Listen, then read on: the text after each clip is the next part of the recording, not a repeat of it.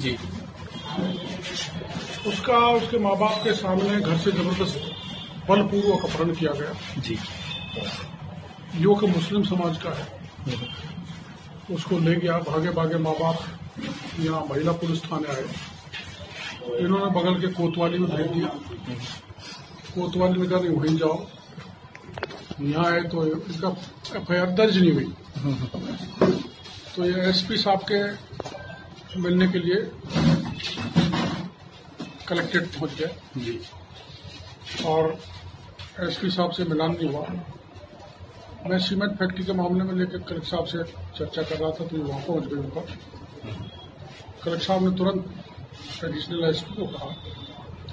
और जब ये रोने बिलखने लग गई कि मेरी लड़की को घेराबंदी ज़रूर कराओ जल्दी कराओ तो हम पीड़ित परिवार को लेकर यहाँ पर आ गए। अफसोस इस बात का है कि पीड़ित परिवार यहाँ पर आए वो भी बहुत संवेदनशील मामला जी।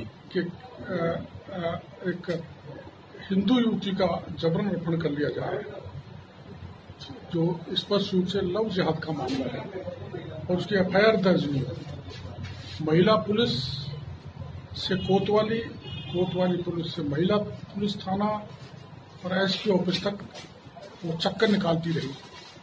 सबसे बड़ा गंभीर तो ये मामला है। इतने संवेदनशील मामले के प्रति भी यहाँ की पुलिस गंभीर नहीं है, सरकार गंभीर नहीं है। इसलिए माँ बाप के साथ यहाँ सैकड़ों लोग इस मांग को लेकर बैठे हैं कि लड़की को हमें सुपुर्द किया जाए, उसे बरामद किया जाए। पुलिस हमें आश्वासन दे रही है कि लड़की को हम लाएँगे, बरामद करेंगे। तो इस ढंग की कई घटनाएँ सवाई माधोपुर हो चुकी है। अंबार लगा हुआ ऐसी घटनाओं का, जिसमें अंदर शहर में बहुत ज़्यादा है। और हमारे इस जले पे नमक भी कुछ लोग मुस्लिम समाज के नमक छिड़कने का काम कर रहे हैं। ये मामला बहुत और आप हमसे जुड़े रहने के लिए सब्सक्राइब करें यूट्यूब पर फॉलो करें ट्विटर पर और लाइक करें फेसबुक पर। और ज़्यादा जानकारी के लिए आपको टाइप करना होगा सिर्फ़ न्यूज़ नशा।